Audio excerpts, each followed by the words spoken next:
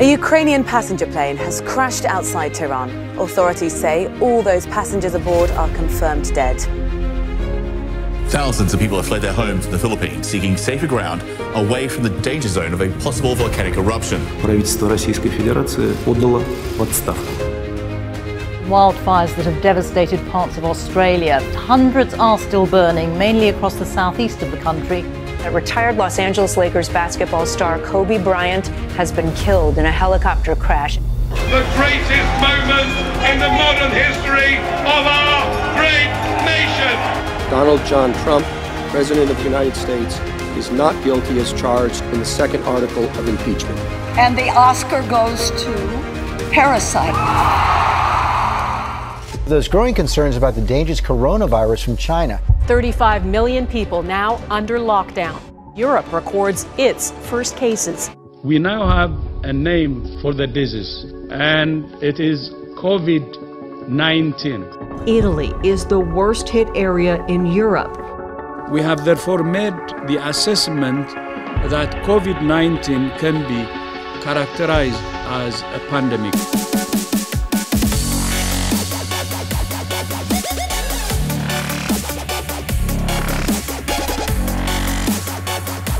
Europe has now become the epicenter of the pandemic.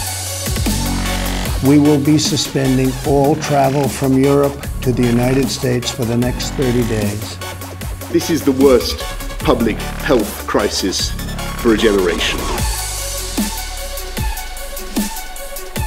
The coronavirus is, is, is the common cold. Siete degli irresponsabili, dei cretini, degli emeriti cretini. All go home, please? It's not a holiday, it's a lockdown. Which means you don't just come in and sunbathe. Can you please just leave? Se tu non esci, non ti preoccupare, non succede nulla, è inutile che scriva a me, che cazzo mi scriva a me, state in casa e non succede niente. It is really killing a lot of people.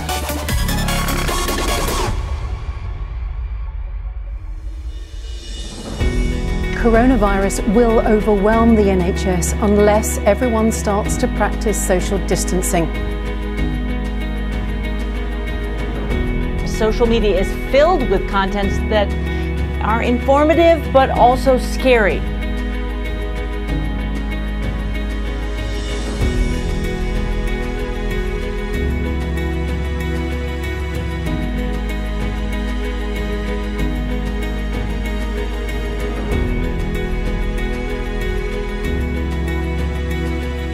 We will be with our friends again.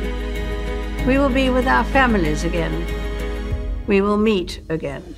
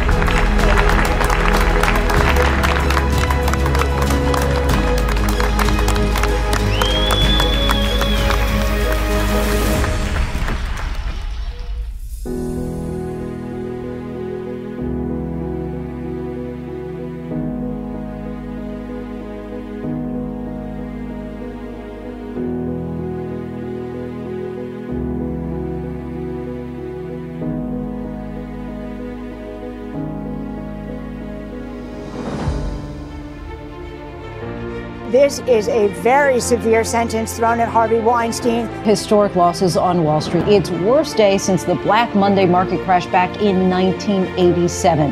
We have uh, to postpone the uh, Olympic Games uh, Tokyo uh, 2020. George Floyd repeatedly told the officers that he could not breathe after an officer knelt on his neck. Black lives matter! Black lives matter! Black lives matter! It's been going on for way too many years, and it is time for a change because we are tired. No racist police! No justice, no peace! No Three, racist two, one, zero. Ignition. Liftoff of the Falcon 9 and Crew Dragon. Go NASA, go SpaceX, Godspeed, Bob and Doug. This week, Russia pushes ahead with a referendum on key changes to its constitution that could keep Vladimir Putin in power until 2036. Thousands of protesters who dispute the results of Belarus's presidential election.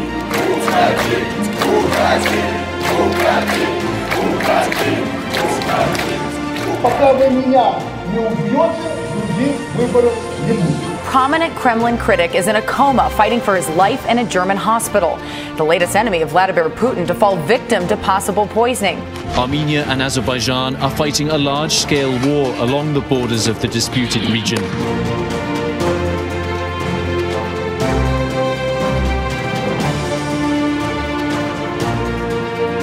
Trybunał Konstytucyjny orzekł, że przepisy dopuszczające aborcję w przypadku ciężkiego uszkodzenia płodu są niezgodne z polską konstytucją.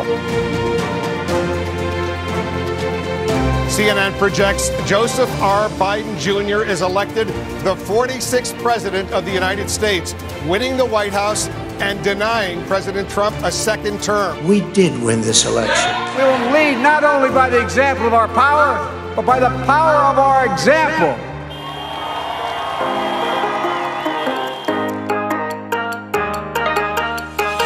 Welcome to PlayStation 5.